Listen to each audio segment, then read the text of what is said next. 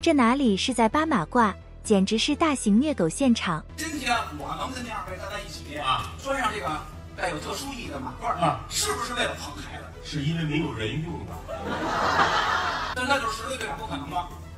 不能说不可能，还是有点希望是吧？世界上没人了呢。正是用人之际。对，你看看你眼前这个，用人之际跟用狗有关系吗？我看你跟角儿十多年了，师傅。你不一直在台阶上趴着吗？估计张九南也纳闷，别人扒马褂都是力捧，到了张九南这就变成了力对了。自从三哥孔云龙扒马褂一战封神，也将扒马褂封箱在那年的专场上。转年张九南的扒马褂也变成了其他的相声节目。但大家都知道张九南是被老郭力捧的徒弟，估计接到八马褂节目单时的张九南也是非常的欣喜，但没有想到演一个八马褂会这么难。没有想到啊！当时张子杰大群里边报节目的时候，我很开心啊。是是是，师傅说张南八马褂，我们俩今天是是是。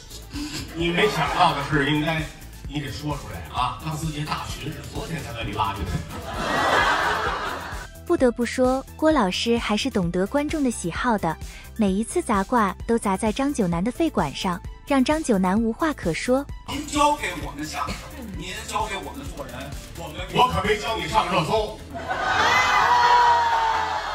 十年小剧场兢兢业业的演出，换来如今张九南在舞台上的八马褂。张九南如今的成绩都是自己努力换来的，看上去是在演八马褂。实际上更像是在预告张九南即将荣升十队队长。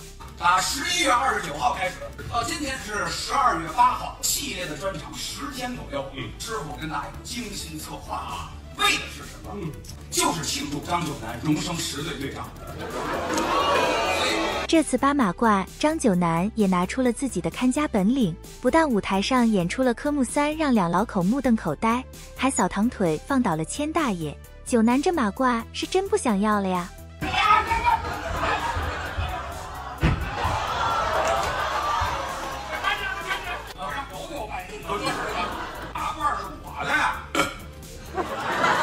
不得不说啊，老郭是真疼狗子。自从张九南停演之后，老郭是到哪都带着张九南，不但国内专场演出有张九南的身影，海外巡演也不忘带着张九南。不知道今年的大风箱上会不会宣布十队队长的人选，让我们一起期待吧。